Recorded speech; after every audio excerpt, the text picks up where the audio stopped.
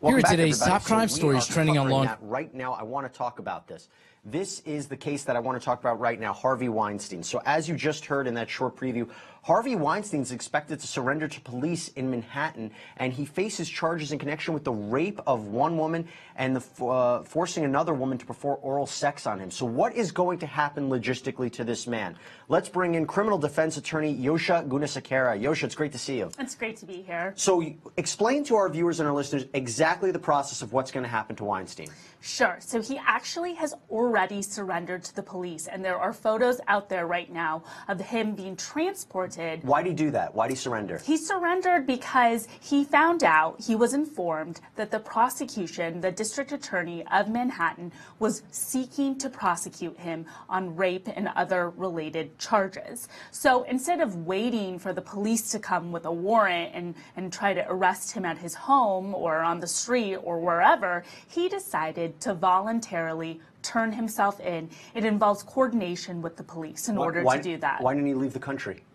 He, he could have, and, and we see other criminal defendants do that, but that, Roman Polanski. that he would never be allowed to return to the United States because there would be an active warrant out for his arrest. As soon as he set foot on American soil, he would get arrested. Also, if he tried to flee, he could be extradited. If he uh, flee to Europe or another country, they could just send him back. So it would be a really risky move, and it also would look to most people like he was guilty if he did that. So he is charged with first degree rape, third degree rape in one case, as well as first degree criminal sexual act in another case, and he's defending himself. Isn't that a reason he wanted to stay too? Isn't aren't his attorney saying he never had non-consensual sex? He is saying that he is completely not guilty, that they will fight this case, and that is another reason that he is cooperating with the police at this time. Does he stay in jail? Is he out on bond? What what happens? So this is a really interesting case. In New York City, uh, judges can set bail on people or they can release them on their own recognizance. Oftentimes, in more serious cases like this case, they're going to set bail. What's really interesting is they pre-negotiated bail here. And why that's really interesting is that never happens. Yeah, we, there was a statement from the NYPD. They said Harvey Weinstein was arrested, processed, and charged with rape, criminal sex acts, sex abuse, and sexual misconduct for incidents involving two separate women. The NYPD thanks these brave survivors for their courage to come forward and seek justice. The arrest and ensuing charges and the, are the result of a joint investigation between the NYPD and the Manhattan District Attorney's Office. Additional information will be provided as it becomes available. When could we see a trial? It's going to be many, many months, if not a year or more down the road. There's a long process here. Uh, first, he's going to get he's going to get arraigned, which basically just means they're going to tell him formally of the charges against him, and then from there, there's a very long process of discovery, of filing motions, just a lot of behind the legal uh, behind the scenes legal action that is going to be taken on behalf of both the defense and the prosecution. I'm sure a lot of people are looking at this and saying Harvey Weinstein's been accused of sexual misconduct throughout the whole world and, and so many different accusations. Why are these two women able to come forward and their their their stories are be able to use to prosecute him? Oftentimes, the district attorney will look at instances that they are most easily able to prove beyond a reasonable doubt. There's a variety of reasons why other women were not necessarily chosen for this. It's because maybe the case was very old, maybe there's less evidence. These are two of the stronger cases that they have evidence for, and it's not to say that they won't try to bring in other instances if they are able to do so legally in a trial. And you know, do we expect a situation like in Cosby, where even though it's about two women right here, you can have all these other women come forward and say, in court, in open court, be witnesses and say, Harvey Weinstein did this to me. He did this to me. He did this to me. Is that a possibility? It's a possibility. Obviously, his attorneys are going to oppose that, and they actually have some legal standing to oppose it. Uh, so it all depends. We, we don't know what's going to happen yet. And he's not just in trouble in New York State, right? Doesn't he face charges in other jurisdictions as well? He faces Federal charges. too, right? Yes, he faces charges in multiple areas and states, and essentially anywhere where these crimes have alleged to occur, there is something called jurisdiction, where those states and federal uh, courts have jurisdiction over him. They're able to prosecute him. And what's the worst thing that could happen to him? What's the maximum punishment he could receive if he's found guilty in connection with these crimes? He could face years in jail. Uh, rape is a very serious felony charge here. Uh, and there is a wide range, um, but he could face years. And if he's prosecuted on these other cases, all that time combined could result even in life in prison. That is pretty incredible to think about seeing this guy at the Oscars a few years ago and then thinking about him potentially being in a jail cell at some point. Um, we do want to let all of our viewers and our listeners know that we have an update about this. Um, Weinstein was led out of the NYTB, NYPD precinct in handcuffs. Again, pretty incredible stuff to think about this media mogul now where he faces, and it's going to be interesting to see how this case leads into other cases with other individuals, and also his story is just starting, right, Yosha? This is just the beginning of it. It is just the beginning. There is a long road ahead for Harvey Weinstein. Well, we are going to update you as soon as we have more about the Harvey Weinstein scandal, the Harvey Weinstein accusations. As soon as we have uh, more about this case, we'll make sure to let you know. In the meantime, we want to play you some more of the top crime stories of the day in case you missed it. Take a look.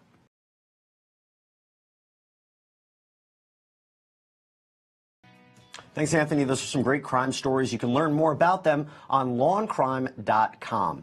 But we want to switch gears right now because, we, as I said at the beginning of the program, we are going to recap one of the major cases that we covered here on Law and Crime. It is the George Burch case out of Wisconsin, a man who was on trial for the 2016 murder of a mother, a young mother, named Nicole VanderHeyden. Prosecutors said Burch violently beat, sexually assaulted and strangled VanderHeyden with a cord. Now, all of our viewers, that is a picture of Miss VanderHeyden with her, her young baby right there. She was really a beautiful mother. But this is an interesting case for a lot of different reasons. You might think it's an open and shut case. The police arrested George Burch. They seem to have a lot of strong evidence against him. Not so fast. Because his defense team said he had absolutely nothing to do with it. If you look at all of the evidence, we can explain why George Burch was where he was that night and why he says he had nothing to do with it. And you know why? Because he didn't commit this crime, the defense says. But Douglas Dietrich, Nicole's boyfriend, was the one that did it. Nicole, you're going to learn throughout this case, had a very interesting relationship with her uh, boyfriend, Douglas Dietrich. He actually took the stand in his own defense to explain what happened that night. But where we want to start right now is talking about the night that Nicole vanished, the night that Nicole, Nicole the last time anybody saw her alive. And some of the first witnesses that were called were friends that went out with Nicole that night. They were drinking that night. They went to different bars. The first person I want to play for you is Aaron Kalinsky. He was a friend of Douglas Dietrich. Again, Douglas was Nicole's boyfriend. And I want you to really listen to their, the description about Nicole's relationship with Doug and what it was like that night when everything turned wrong. Take a look. Welcome back to the Law and Crime Network, everybody, and Law and Crime on Sirius XM Radio. We are recapping the George Burch case out of Wisconsin for you. One of the most exciting cases we covered here on Law and Crime. This is about a man who was on trial for the first degree intentional homicide of a young mother named Nicole VanderHeyden. This happened back in 2016. Nicole's body was found. She was strangled, sexually assaulted, and it appeared to be she that she was strangled uh, and she suffered blunt force trauma to the head and strangulation from a cord. What we're doing right now is recapping this case for you, but we're not going to tell you what the verdict is until a little bit later on in the program. So what's, excuse me, what's happening here? Mr. Burch, who's the defendant, is claimed to have killed her. What we're learning right now is what Nicole was doing in the night that she disappeared, the night that this all happened. And what we just heard from Alan, Aaron Kalinsky, a friend of both the victim and the victim's boyfriend, Douglas Dietrich, they were all hanging out, they went out a concert, they were drinking. But why does that matter? Let's bring back in uh, criminal defense attorney Yosha Gunasekera. Why does it matter how much she was drinking that night? Why does it matter if everybody else was drinking that night? It's very important to paint a picture of exactly what went down that night because the jurors need to know everything. And it seems like a lot of detail, but what happens later that night is her death. So it's important to understand the first couple of steps. And oftentimes, when someone is killed, alcohol or drugs do play an important point. So Well, we don't know where it's ultimately going at this point. We do know that she was drinking, that she might not have had the best judgment at that point, because we all know when you drink, it impairs your thinking abilities. And what's also important to point out here is where is Douglas Dietrich here? Right, let's talk about that. So we are going to, we have to take a quick break, but when we come back, Douglas Dietrich is, as I said, Nicole's boyfriend. The defense said that George Burch didn't kill Nicole, but that it was Douglas. And under this Aaron Kalinsky, who's being examined by the, who's being questioned by the prosecution, they're trying to see were Nicole and Doug fighting that night? Were they having a good time? We'll let you know more when we come back from the short break. Welcome back to the Law and Crime Network and Law and Crime on Sirius XM Radio, Channel 109. I'm Jesse Weber, and I am guiding you right now through the George Burch case out of Wisconsin. This is a case that we covered extensively here on Law and Crime. And while we don't have our live trial today in the Shawn Harrison case uh, that will return next week, we wanted to recap for you one of the major cases that we covered and a really bizarre but exciting case because you had a defendant here, George Burch, who was on trial for the first degree intentional homicide of a mother named Nicole VanderHeyden.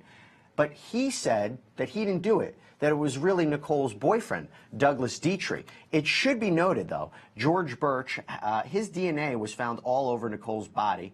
Um, her body was found three miles uh, from her home in a ditch, and cell phone evidence tracked Burch to key locations that night, including where Nicole's body was found. Despite that evidence, though, George Burch says, I wasn't the one who did this. I was knocked out unconscious after fooling around with uh, Nicole after we met up at a bar. Douglas Dietrich, her boyfriend, knocked me in the head. He killed her and then forced me to get rid of her body. That is the story that the defense went with. And we are going to reveal later on in the program if that was successful. Did they jury come back with a guilty or not guilty verdict? We'll let you know. But we have to start from the beginning. And really, the beginning is what happened to Nicole that night. Well, what we're learning is that she was out with friends. They were drinking. She was out with her boyfriend, um, Douglas. But at one point, Douglas and her separated. Uh, they split apart. Now, we know that they were drinking that night, and the question became how intoxicated was everybody? And more importantly, were Doug and Nicole fighting in the night in question? Because that's really what the defense wants to point out that they were fighting and that he really is the person that did this. Let's learn a little bit more about what happened that night between the two of them from Aaron Kalinsky, a friend of both the defend, uh, excuse me, a friend of both the victim and the victim's boyfriend. Let's look. Okay, we're learning a little bit more about what happened to the victim the night that she was killed. Welcome back to the Law and Crime Network and Law and Crime on Sirius XM Radio Channel 109. I'm Jesse Weber. We are covering the George Burch case out of Wisconsin. This is a case that we covered extensively here on the network, and we are recapping it for you in its entirety. It was a very interesting case about a man who was charged with the first degree intentional homicide of a young mother named Nicole VanderHeyden, who died, who was killed back in 2016. She suffered blunt force trauma to the head, strangulation with a cord, and also sexual assault. So the question became, what happened to Nicole the night, that night that she went missing? Well, what we're learning from Aaron Kalinsky, who was a friend of her boyfriend, um, again, her boyfriend, his name was Douglas Dietrich. And the reason I mention his name is because George Burch, the defendant, said that Douglas Dietrich is the one who killed her, not him. He had nothing to do with it. It was actually uh, Douglas Dietrich. Now, here's the interesting thing. What we're learning from Aaron Kalinsky is that they were all drinking that night. Him, Nicole, some friends, uh, Nicole's boyfriend, Doug. But they separated at one night. They separated at one point in the night. And there seemed to be a problem. There seemed to be a fight going on between Douglas and Nicole. In fact, she tried to call Doug at a certain point in the night, and he didn't pick up. And how did she know that? Because she had her friend call him, and he picked up his phone then. Now, why does this all matter? Let's talk a little bit more about it with criminal defense attorney Yosha Gunasekera if I'm the defense, I'm happy to hear that, right? Because if you are your client's George Burch and you hear there's problems with Douglas Dietrich and Nicole, it's looking good for them, right? There's a lot of good stuff happening here for the defense. In these type of cases, the finger is almost always pointed at someone the victim is having an intimate relationship with, which is Douglas Dietrich in this case. That's why he was originally arrested. And so far, how the night is playing out is really making Doug Dietrich not look good. Before Nicole is killed, they're having a fight essentially. I mean, what makes more sense, right? A complete stranger killing her or somebody that she was intimate with, right? Isn't that really you target the boyfriend, the husband, the wife, the girlfriend? You look at the person that's intimate with somebody because they have the closest relationship with them. They have the most opportunity to be around them. And really, what makes sense if you have somebody that's been around her that night and was fighting with her, in the eyes of the jury, they're listening very carefully to this. Exactly. If I'm a juror in this situation, this is really the start of reasonable doubt in this case. It's really pointing to another person other than George Burch. I mean, the fact that he is ignoring her calls yet picks up a call from another woman, that that's not Yosha, good. that's never good. It's never good. It's, never, good. Not even in murder cases, just in general. Yes. Um, but not to make light of it, here's, here's what we're going to play for you next. So, Doug left one of those bars with his friend Greg.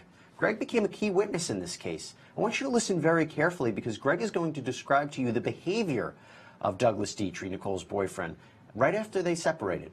Take a look.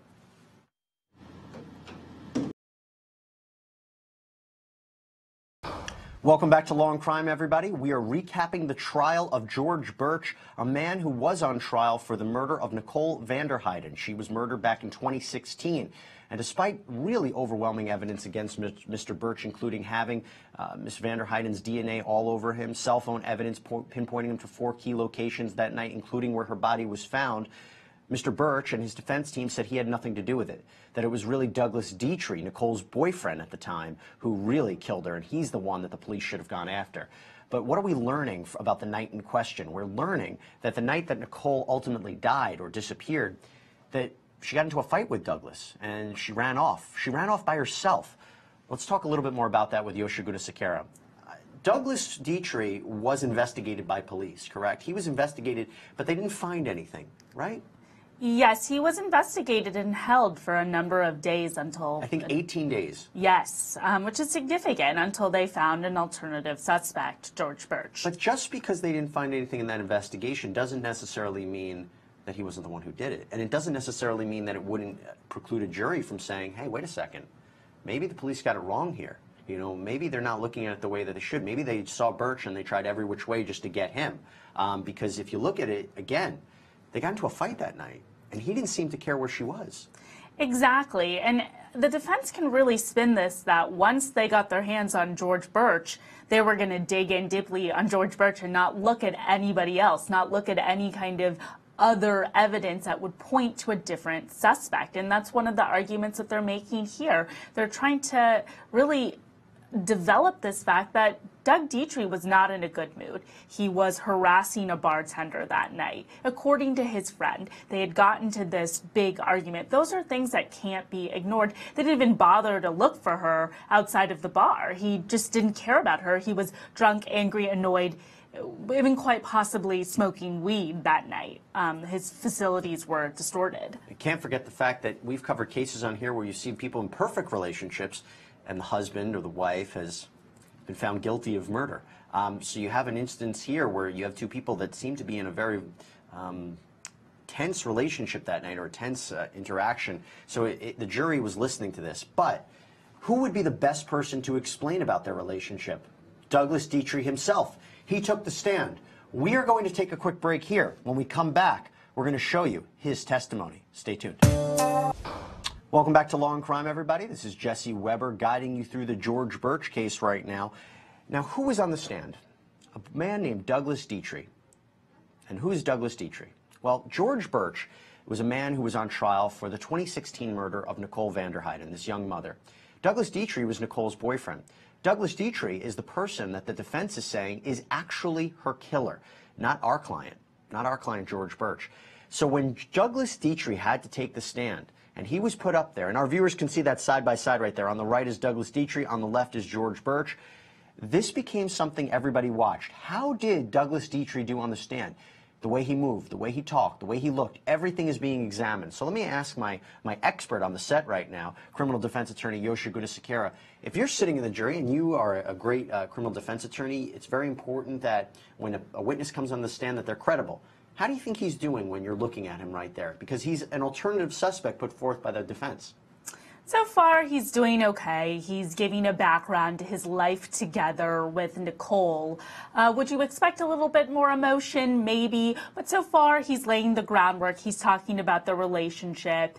Um, it seems very, it seems a little stale, but so far, it's okay. Well, let's talk about that. So, if he's not only talking about that his girlfriend was murdered by this man, George Burch, who the police arrested and now he's on trial for, but if he's being implicated by the defense as the real killer, wouldn't you want to see some emotion? Or does the jury look at that and say, eh, I'm not believing any of it, it's crocodile tears? It's hard to say. I mean, everyone is so different. Um, you would expect to see some emotion, but then this happened, you know, so many months ago. So how he's processing now could be very different. But you would think in his head he's probably nervous because he does understand that the juror, jurors might think that he's the actual real killer. So I understand some of the nerves that are probably coming from him. Well, who is the real killer? What happened to Nicole that night? Okay, that's what we're trying to understand, and that's what the jury ultimately had to determine. Now, again, we are recapping this case, and we will let you know what the verdict is, but later on in the program. So don't cheat. Don't look, okay? If you're a listener or watcher, don't look yet. We are recapping this case and we want to present it to you in a certain way. So this is a continuation of Douglas Dietrich on the stand, and now he's going to talk to you about what happened that the night Nicole walked off on her own, and the next time anybody saw her, she was dead in a ditch. Let's listen to that right now.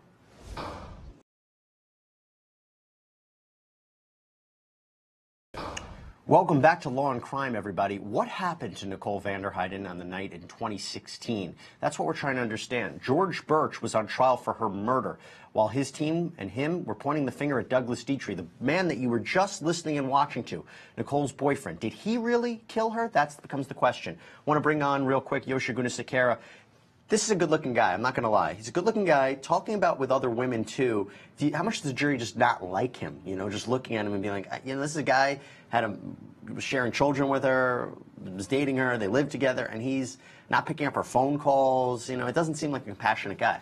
He's not very likable, and you heard him testify. She's drinking a lot of alcohol, and she's drinking it quickly. And you would think a loving, caring boyfriend would be there to make sure that she was okay. Even when you're fighting, at the end of the day, you want to make sure the person you love is safe and cared for, and he just didn't do that. But how much is that just being a bad boyfriend, and how much is that really the start of a terrible night where he ultimately kills her?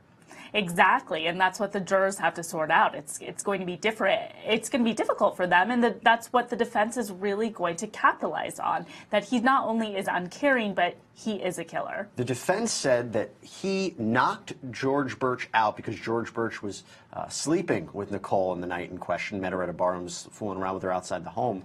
George, uh, Douglas Dietrich knocks her out, knocks him out. When he wakes up, he already killed Douglas killed Nicole. So when the jury is looking at this man, they're looking at him to determine whether or not he is the killer. It's not just looking for credibility, not looking like we said about likability, but looking, is this man a killer or really is George Burch the killer? That becomes the question. That becomes the question for the jury. When we come back, we have a lot more to show you of Douglas Dietrich's testimony. We'll be back in a minute.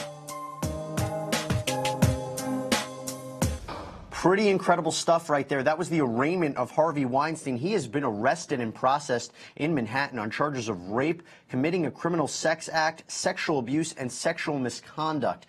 So what just happened during his arraignment? Let's talk more about it with criminal defense attorney Yosha Gunasekera. Yosha, what did we just learn from his, uh, his, his being processed in court? So we learned about his formal charges, but one of the most significant things here is it hasn't officially become a felony. It doesn't become a felony until a grand jury chooses to indict him. Essentially what that means, a grand jury is just a bunch of New Yorkers who have to see if there is probable cause to move the case forward. And he actually has a right to testify in the grand jury. Uh, we heard from the district attorney's office that they plan to present the case in about a week. So they have to let the district attorney's office know if he's going to testify. So you're saying the grand jury can be impaneled in a week? Is that my understanding that? There's always grand juries ready to go. They're, the DA's office is just going to present their case in one week. And Harvey Weinstein himself could go and say, I didn't do these things. Please don't charge me. And if the grand jury finds that there's no probable cause, the entire case could get dismissed. But we're talking about some serious charges here. And again, there's two separate women, right? There's one woman, uh, Lucia Evans, who's an actress that said Harvey Weinstein forced me to perform oral sex on him. And then there's another unidentified woman who says he raped her. So these kinds of cases, uh, I mean, we don't know all the facts of it, but your best guess, it's probably going to move forward. It's definitely going to move forward. And I don't think that Harvey Weinstein would testify at the grand jury. Well, I should let all of our viewers and listeners know that Rose McGowan, who has been very outspoken uh, against Mr. Weinstein and everybody in the Me Too movement, she tweeted, We got you, Harvey Weinstein. We got you. We are going to let you know more about that case as it unfolds. It's really breaking news right here on Law and Crime. But we want to take a step back. Let's go back to what we were talking about before our last break. Um, it should be noted that we were covering the Shawn Harrison case out of Massachusetts. It is on break. It will be back next week about this reverend who is on trial for attempted murder. We'll talk about that more next week. Our focus right now is to recap another exciting case for you. It is the George Burch case out of Wisconsin. A man who was on trial for the first degree intentional homicide of uh, Nicole VanderHeyden, a young mother who died in 2016. Her body was found in a ditch three miles from her home. She was strangled, suffered blunt force trauma, and sexual assault. George Burch, despite his DNA being all over her, despite cell phone evidence linking him to key points that night, including where her body was found, says that he didn't do it. It was really Douglas Dietrich. That Douglas, her boyfriend, knocked George Burch out, killed Nicole. When George woke up, he was forced to dispose of her body. That is the theory that was presented by the defense, and we will let you know later on in the program if it was ultimately successful. What I want to do right now is continue playing for you the testimony of Douglas Dietrich. Again, Nicole's boyfriend, the suspect that was originally the suspect in this case. He was ruled out by investigators, but he was not ruled out by the defense. They pointed the finger at him. So what we're going to play for you right now is some of his testimony when he talks about the last night, the last night that Nicole was seen alive. Let's play that for you right now. The last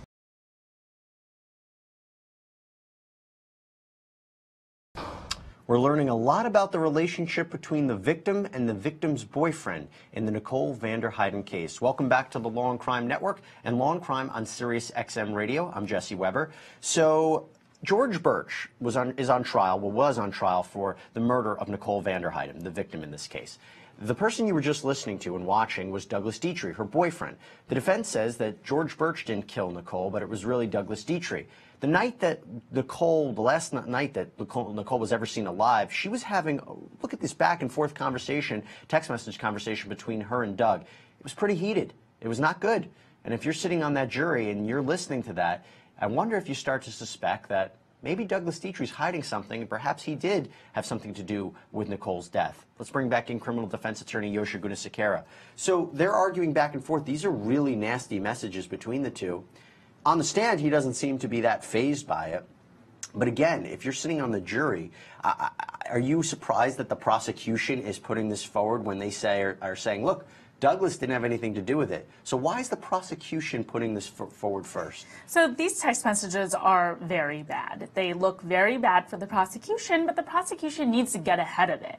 In these type of cases, if, a, if the prosecution doesn't bring it up in its case in chief, the defense is going to bring it up in its case. So it's better for the prosecution to bring out these text messages and kind of control the narrative earlier on. And that's what they're doing here. They're saying, look, he got into a fight that day. Douglas Dietrich and Nicole VanderHeyden got into a fight. There were some text messages that were sent that were regrettable, but that doesn't mean he killed her. What do you think of the defense's argument when they say what makes more sense? A complete stranger killing her because they allege that uh, George met Nicole later on in that night after she fought with Douglas, after she left her group of friends. They met at a bar, she slept with him. What makes more sense? Her uh, complete stranger killing her or a guy that was intimately involved with her? What do you see more often? You definitely see intimate partner violence much more often. And again, that's why he was the first suspect. That's why he was arrested and held in for 18 days. Uh, so he immediately is the the suspect that they went after, but it's not until we see other evidence come out. For example, the DNA of George Burch on her body, that the police is then questioning their original decision to arrest Douglas Dietrich. And George Burch says, look, my DNA was on her because I was sleeping with her that night. Um, you want to pinpoint my cell phone to different areas where I was that night? Yeah, I was with her that night. I was sleeping with her when, bam, I get knocked in the head by Douglas Dietrich. I wake up, Nicole's dead. Douglas killed her, and then he forces me at gunpoint to dispose of her body. That was the defense's case. We'll talk more about that when we get back from this short break. Welcome back to the Law and Crime Network and Law and Crime on Sirius XM Radio, Channel 109. I'm Jesse Weber, and I am guiding you through the George Burch case right now, a man who was on trial for the murder of Nicole VanderHeyden back in 2016. But the defense is saying, and George Burch was saying, that he had nothing to do with it that it really was Douglas Dietrich, the man that you were just listening and watching to. Douglas, who was Nicole's boyfriend at the time, was just discussing what happened the last night that Nicole was seen alive. They got into a fight, and when he came home, she wasn't there. Now, I want to talk about that right now more with uh, Yosha Gunasekera. And Yosha, I know we have to sign you off, so I'm going to ask you one last quick question about this. Um, he didn't seem concerned that she was missing he didn't seem concerned and he he just said he thought that she was intoxicated and perhaps spent the night somewhere else which maybe was something that they would do when they were too drunk to come home. But it is strange and really the jurors are trying to evaluate is he credible? Did he try to comfort her? Did he really try to help her? Or is he just covering his own butt um, and so that's really what they, the jurors are having to determine. And now at the very end of that clip, we're seeing the introduction of marijuana. Was he smoking? Was he not only drunk? Was he high?